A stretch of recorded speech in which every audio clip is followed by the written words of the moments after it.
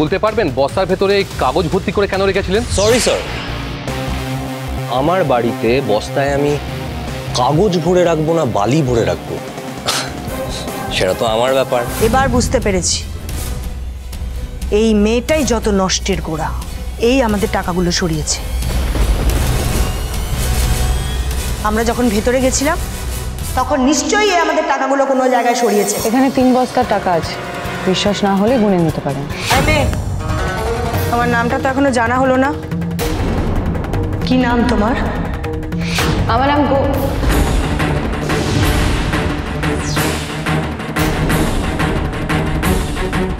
ভুল করে আর একটু হলে নিজের আসল নামটা বলে দিচ্ছিলাম।